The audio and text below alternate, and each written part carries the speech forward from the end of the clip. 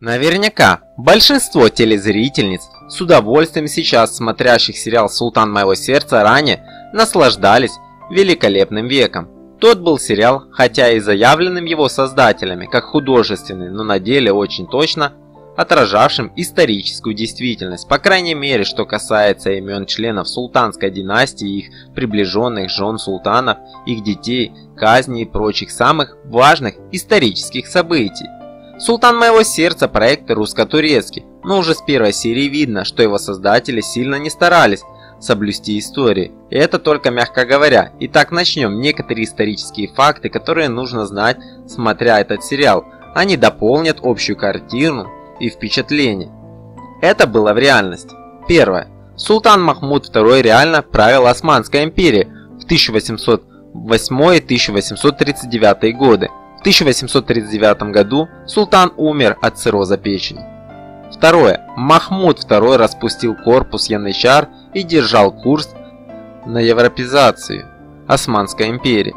Третье. Имел отношение к убийству бывшего султана Мустафы IV, но тот был отнюдь не ангел.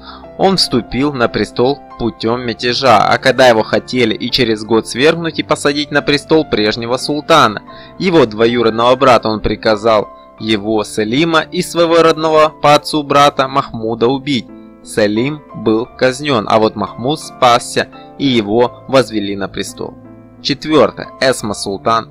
Такая сестра действительно была у Махмуда, сводная сестра по отцу, и она играла определенную роль в янычарских бунтах.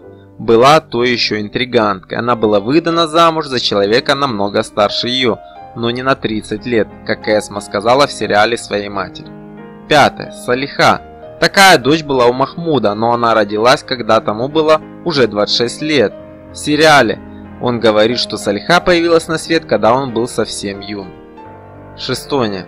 Спасение Калфой. Гаремом управляет Джеври Калфак, которая постоянно ходит в перчатках. Они рассказали, что когда-то она бросала мятежников, которые хотели убить Махмуда, горящие угли. Тем самым она дала время скрыться будущему султану, за что тот ей безмерно благодарен. Горящие угли они брали голыми руками и получали ужасные ожоги. Художественный вымысел. Первое. Никаких исторических данных о том, что у него был роман с русской свободной девушкой вовсе нет. Анна просто вымысел создателей сериала. Более того, в то время женщины в гареме в большинстве своем были не захваченными в плен. Это были свободные девушки. В гареме не учились, их обучали хорошим манерам. Второе. Хашьяр Султан не была матерью наследника престола, да и наследника престола звали не так, как говорится в фильме.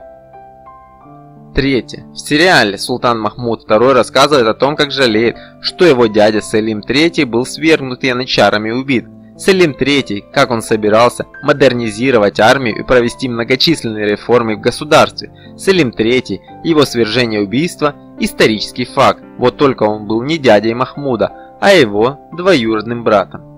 Четвертое. Эсма Султан была не родной, а сводной сестрой казненного бывшего султана Мустафы. У них были разные матери.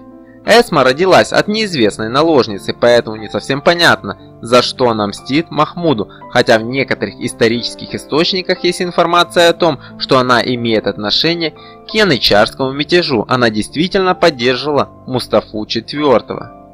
Конечно, это все очень малая часть исторических фактов и вымыслов. В дальнейшем будет новый видеоматериал на данную тему. А вам спасибо за внимание. Подписывайся на наш канал. Всем пока.